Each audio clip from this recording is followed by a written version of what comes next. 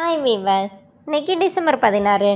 Mouna Ragam serial என்னாச்சுன்னு சொல்லி பார்க்கலாம். முன்னாடி சேனல் சப்ஸ்கிரைப் பண்ணாதவங்க மறக்காம சப்ஸ்கிரைப் பண்ணுங்கள் இன்னைக்கு என்ன அப்படின்னு சொல்லி பார்த்தீங்கன்னா கஸ்தூரிக்கு அந்த ஃபோட்டோஸ் எல்லாம் வச்சு மனோகர் வந்து அவங்க ரூம்லேருந்து எல்லாமே சொல்லி கொடுத்துட்ருக்கிறாரு அப்புறமா கொஞ்ச நேரம் கழித்து அவர் சரி நீ தூங்க நான் போகிறேன்னு சொல்லும்போது கஸ்தூரி வந்து என்னங்க? அப்படின்னு சொல்லி கூப்பிடுறாங்க. அப்போ உடனே சரின்னு சொல்லிட்டு அவருக்கு அப்படியே ஷாக் ஆகி நிற்கிறாரு அப்போ உனக்கு என்ன அடையாளம் தெரியுதா? அப்படின்னோடனே அவங்க என்ன கேட்குறாங்கன்னா சரி நம்ம குழந்தைங்களெல்லாம் எங்கே ஸ்கூல் போயிருக்காங்களா? அப்படின்னு சொல்லி கேட்டாங்கன்னா என் குழந்தைங்களாம் சின்ன குழந்தைங்க சின்ன குழந்தைங்க அப்படின்னு சொல்கிறாங்க சரின்னு சொல்லிட்டு அவருக்கு நம்ம காலையில் இதை பற்றி பேசுவோம்னு சொல்லிட்டு தூங்க சொல்லிடுறாரு. காலையில் என்ன ஆகுதுன்னா இங்கே என்ன ஆகுதுன்னா கார்த்திக் மல்லிகாலாம் அங்கே இருக்காங்கல்ல? இங்கே பக்கத்துலேயே உட்காந்து வருணை வந்து சக்தி பார்த்துட்டே இருக்கிறாங்க. அப்புறமா கார்த்திக் வந்து சக்தியை மட்டும் கூட்டிகிட்டு போய் பேசுகிறாரு இந்த மாதிரி அவனுக்கு சரியாயிருமா? மருந்தால் சரியாகாதது கூட பாசத்தில் சரியாயிரும். அவங்க அம்மா வர வந்திருக்காங்களே. இவங்க போய் பார்க்கும்போது சரியாக இருக்கும். நீ வந்து கவலைப்படாத அப்படின்னு சொல்லிட்டு சமாதானப்படுத்திட்டு இருக்காங்க. இங்கே வீட்டில் என்ன ஆகுதுன்னா காலையில் என்ன ஆகுதுன்னா தருண் வந்து ஸ்ருதிக்கிட்ட உட்காந்து பேசிகிட்டு இருக்காங்க. அம்மா அண்ணா வந்ததுக்கு இப்போ ரொம்ப பரவாயில்லல்ல அப்படின்னு. அப்போ பார்த்தா அவங்க அம்மா கரெக்டாக அங்கே வா இறங்கி வந்துட்டு இருக்காங்க கையில் ஒரு சின்ன பையன் ஃபோட்டோ வச்சுருக்காங்க.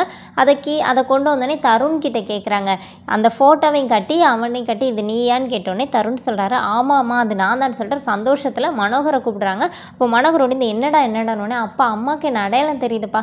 இந்த ஃபோட்டோவில் இருக்கிற பையனை நான் கேட்குறாங்கன்னொடனே ஆமாடா நைட்டு கூட அவளுக்கு என்ன அடையாளம் தெரிஞ்சிச்சு அப்படின்னோடனே இப்போ இவங்க எல்லாருக்கும் ரொம்ப சந்தோஷமாயிருது. அப்போ உடனே கஸ்தூரி கேட்குறாங்க வரும் உங்கள் அண்ணன் வரும் நீங்கள் ஸ்கூல் போயிருக்கானா? அப்படின்னு சொல்லி கேட்குறாங்க அப்போ இப்போ எல்லாருமே ஷாக் ஆயிடுறாங்க. அப்போ அப்போனே இப்போ ஸ்ருதி என்ன நினைக்கிறான்னா இப்போ வருண் வர நேரத்தில் இவங்க ரெண்டு பேரும் மீட் பண்ணாங்கன்னா இவங்களுக்கும் பழைய ஞாபகம் வந்து அவனுக்கும் பழைய ஞாபகம் வந்துருச்சுன்னா ஷீலா ஆன்ட்டி மாட்டிக்குவாங்க நம்மளும் நம்ம சொன்ன போய் மாட்டிக்கும். இப்போ என்ன பண்ணுறது அப்படின்னு யோசிச்சுட்டு நான் ஆன்ட்டியை ரூம் கூட்டிகிட்டு போகிறேன்னு சொல்லிட்டு கூப்பிட்டு போயிடுறாங்க.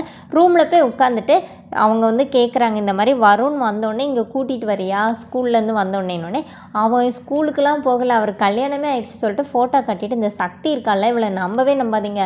இவன் இந்த இந்த மொத்த சொத்தையும் ஆட்டை போடுறதுக்காக அங்கிள் வருண் எல்லாரும் ஏமாற்றி இந்த வீட்டுக்குள்ளே வந்திருக்கிறா. அவளை நம்பிடவே நம்பிடாதீங்க சொல்லிட்டு சக்தியை பற்றி தப்பு தப்பாக சொல்லி கொடுக்குறாங்க. அப்போ கஸ்தூரி கேட்குறாங்க சக்தி அப்படின்னோடனே ஆமாம் ஆமாம் சக்தி தான். அவளை நம்பவே நம்பாதீங்க. அவள் உங்களே ஏமாத்திடுவா. அவள் எது தந்தாலும் வாங்காதீங்க அப்படின்னு சொல்லி சொல்லிட்டு சரின்ட்டு எனக்கு வேலை இருக்குன்னு சொல்லிட்டு ஸ்ருதி போயிடுறாங்க. இங்கே வருணை கூட்டிகிட்டு கார்த்திக் மல்லிகா எல்லோரும் ஹாஸ்பிட்டல்லேருந்து கிளம்பியிருக்காங்க. அதோட என்னோடய எபிசோட் ரன் பண்ணியிருக்காங்க. தேங்க்யூ